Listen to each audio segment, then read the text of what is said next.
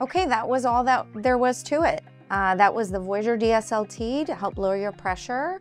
Um, pretty easy in terms of standing up to the laser. What did you think? Oh, easy. It was short and didn't last. Okay, great. Well, I really hope it helps us to lower your eye pressure, and I look forward to seeing you next time. Thank you, doctor. Yep. Really appreciate it.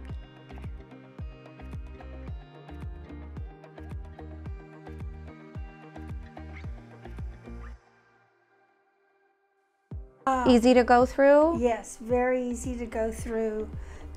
Uh, painless.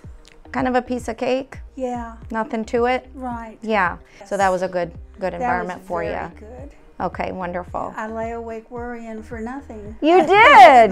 You did. Well, great. I'm glad the experience was good. We'll do the other eye soon, and I'll see you then. Okay. Okay. All right. All right. Bye. Remember, there'll be heat and a sensation. I need you to now be real still, looking at the red light. We're getting started, nice and open, and we're done. And we're done.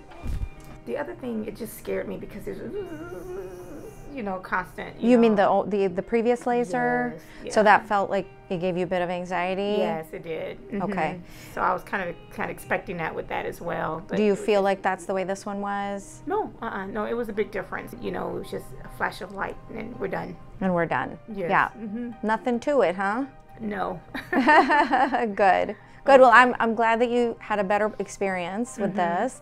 And I think we're all set to do the next one next time. On the other eye. Yeah. Okay. Okay, All right, dear? that's I'll see you then. Okay. All right. All right. Okay. you.